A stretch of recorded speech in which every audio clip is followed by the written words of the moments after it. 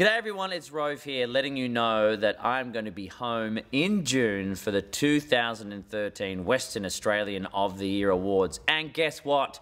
Nominations are now open. So if you can think of any West Australian whatsoever who inspires you, then feel free to put them forward. Oh, I choose you, Rove. Well, that's very sweet of you, fake person that I just made up. But it could be anybody, like me or Rove, or someone from the McManus family. It's really up to you. So uh, get on to the Celebrate WA website now for all the details and get in for your table. Book a table. It's all well and good to nominate, but you have to be there as well. You don't have to, but it would make it a lot more enjoyable for me to have people to talk to on the night. So uh, get onto the Celebrate WA uh, website, nominate your Western Australian of the Year, and I'll see you in June of 2013.